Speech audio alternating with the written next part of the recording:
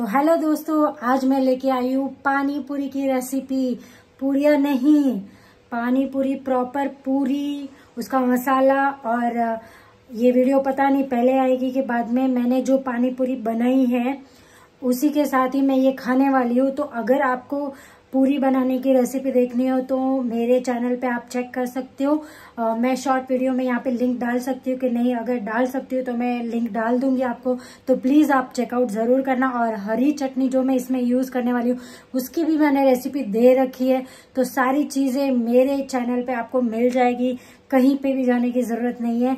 तो चलो recipe time waste ना करते हुए स्टार्ट करते हैं।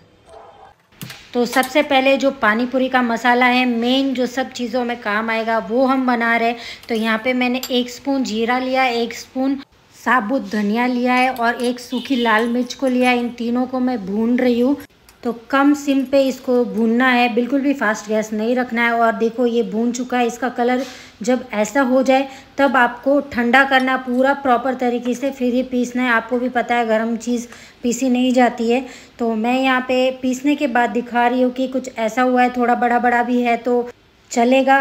तो कुछ पीसने के बाद इतना मसाला हुआ है, आप ज़्यादा भी बना सकते हो। मैंने यहाँ पे चाट मसाला ऐड कर दिया एक स्पून और सारा मिश्रण मिक्स करके साइड में रख लूँगी। ये सब जगह काम आएगा। ध्यान रखना। और अभी मैं ये ग्रीन चटनी यूज़ कर रही हूँ। ग्रीन चटनी की रेसिपी मैंने दे रखी है, आप चेकआउट ज़रूर करना। तो ग्रीन चटनी में मैंने पुदीना बिल्कुल भी नहीं डाला था और पानी पूरी के पानी में पुदीना तो हंड्रेड परसेंट पहले चाहिए। इसलिए मैं अभी अलग से ऐड कर रही हूँ वो ग्रीन चटनी में और दो हरी मिर्च लिए, क्योंकि चटनी में ऑलरेडी मैंने मिक्स किया हुआ था।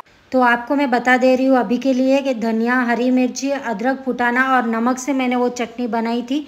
तो जो पुदीना और हरी चटनी को मैंने पीस लिया था, उसको अभी मैं तीन गिलास पानी में छान रही हूँ। यहाँ पे मैंने तीन गिलास पानी लिया है। जितना मेरा मसाला है, उसी हिसाब से लिया है। आप कम ज़्यादा कर सकते हो आपके हिसाब से। तो यहाँ पे मैं इसको पूरा छान लूँगी अच्छी तरह से। और जो भी ऊपर का मसाला बचेगा छानने के बाद, उसको फेंकना नहीं है बिल्कुल भी, उसको भी रखना है आपको। तो दोस्तों, इस रेसिपी में मैंने जो भी यूज़ किया है, वो मैंने होममेड यूज़ किया है। इवन पानी पूरी भी मैंने घर पे बनाई हुई है। ग्रीन चटनी, खट्टी मीठी चटनी और पानी पूरी की पूरियाँ सबकी रेसिपी मैंने डाल रखी है तो आप चेकआउट ज़रूर करना। जो मसाला मैंने बनाया हुआ था, वो अभी मैं ऐड कर रही हूँ और यहाँ पे जलजीरा के दो पैकेट यूज़ करूँगी मैं छोटे छोटे जो दो पैकेट आते हैं।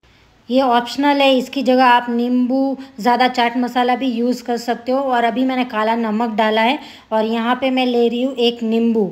तो यहाँ पे एक मैं टिप्स देना चाहूँगी आपको कि अगर आप कभी भी पानी पूरी बनाएँ पानी पूरी का पानी पहले बना के रख ले। कम से कम दो घंटे पहले बना के रखो ताकि सारे जो भी मसाले हम ऐड करते हैं, वो पड़े पड़े इन्हेंस हो जाए तो टेस्टी लगेगी और भी पानी पूरी तो यहाँ पे लास्ट में मैंने ऐड किया है हींग।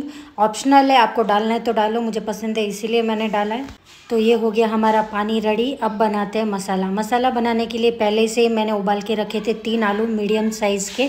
ठंडे हो गए थे, बिल्कुल भी उसमें पानी नहीं था। पानी हो तो भी चलेगा, पर मैंने पहले ही करके रख दिया था, इसीलिए मैं बता रही हूँ। तो उनको हाथों से ही मसल रही हूँ। बाहर के लिए बनाना है तो हाथों से बिल्कुल भी नहीं मसलना है, वो ध्यान रखना। आप ये घर के लिए मैं बना रही थी, इसलिए हाथों से मसल लिया। तो अभी मैंने उसमें जो ग्रीन मसाला बचा था, वही ऐड किया है। और जो मैंने मसाला बनाया था, जीरा और धनिया का, वो और फिर काला नमक ऐड किया है यहाँ पे मैंने।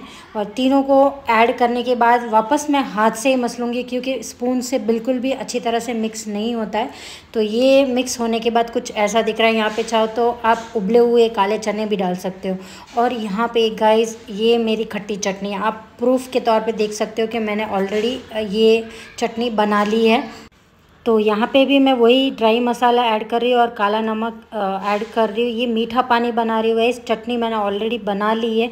और उसकी रेसिपी ऑलरेडी मैंने शॉर्ट वीडियो में शेयर कर दी है तो वहाँ पे देख लेना आप। तो बस अभी मैं पूरिया ये पूरी भी आपको मैंने बता दी है कि इसकी भी रेसिपी मैंने शेयर कर दी है।